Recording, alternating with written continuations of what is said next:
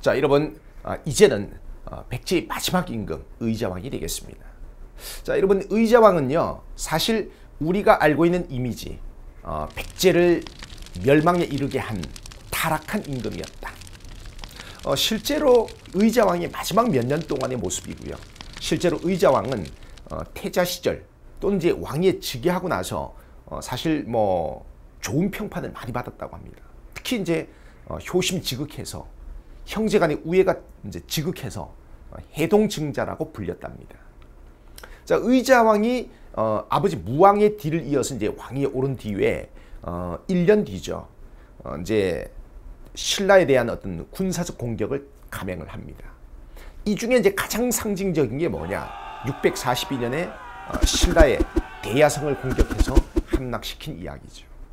근데 당시 이 대야성 성주가 누구냐? 바로 어, 신라의 막후 실세였던 그 김춘추의 어, 사위 김품석이었습니다.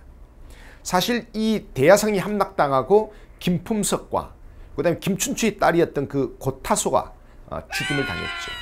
자 김춘추는 어, 이 백제에 보복하겠다는 결심을 하게 됩니다. 그래서 이제 결국 이게 나중에 이제 나당 연합으로 이어지게 되는 거죠. 그다음에 이제 의자왕은 642년에 고구려와 힘을 합쳐서 신라가 당으로 가는 그 백길 바로 지금의 당항성 지금 이제 경기도 화성이죠. 자 여기를 공격하기도 했죠. 자 그런데 의자왕이 왕이 되고 나서 이제 십수년이 지나서 이제 백제가 멸망하기 바로 몇 년 동안의 모습이죠. 의자왕은 이제 뭡니까 정치를 멀리하고 어, 향락에 빠져들었습니다. 뭐 삼천궁녀 들어봤죠. 매일 궁녀들과 함께 어, 명승지에서 이제 파티를 벌이고 그 다음에 성충 같은 충신을 멀리합니다. 자기에게 어, 가는 충언을 하는 어, 충신들을 멀리 귀양 보내고 그 다음에 임자 같은 간신을 가까이 하죠. 전형적인 나라가 망하는 어떤 그런 모습을 어, 이 의자왕 때 보여주고 있습니다. 자 마침 어, 660년 여름에 어, 신라와 당의 연합군이 백제를 공격하게 됩니다.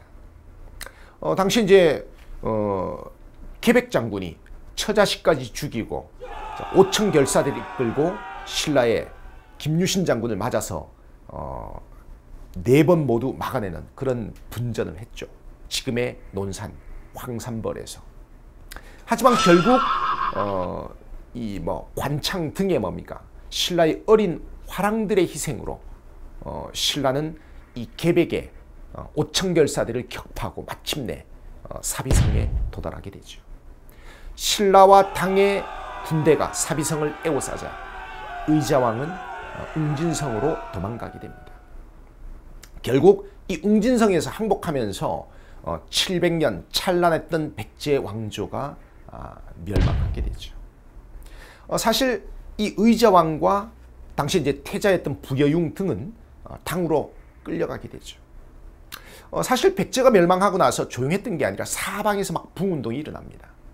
자, 이 부운동의 핵심 인물이 누구냐? 복신, 의자왕이 서자죠.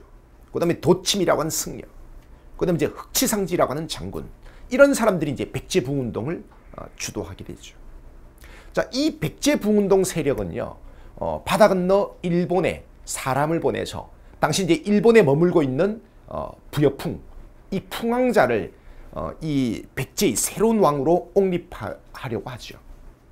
당시 이제 일본은 이 풍왕자를 어, 백제로 돌려보내면서 많은 일본군을 어, 함께 어, 지원하게 됩니다. 그럼에도 불구하고 어, 이제 백강 입구에서 어, 나당연합군에게 일본 수군이 크게 패하면서 사실 어, 백제부운동 세력은 막을 내리게 됩니다. 어, 사실 여기서 어, 두 왕자의 엇갈린 운명.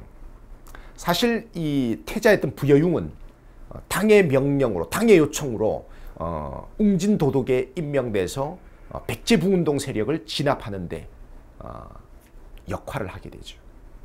그에 비해서 동생이었던 부여풍은 어, 백제부운동의 어떤 뭡니까 리더로서 활약하게 되죠. 자, 이 두 왕자의 엇갈린 운명. 여러분들은 어떻게 평가하시는 겁니까? 자, 여러분 지금까지 의자왕과 백제 멸망 이야기였습니다.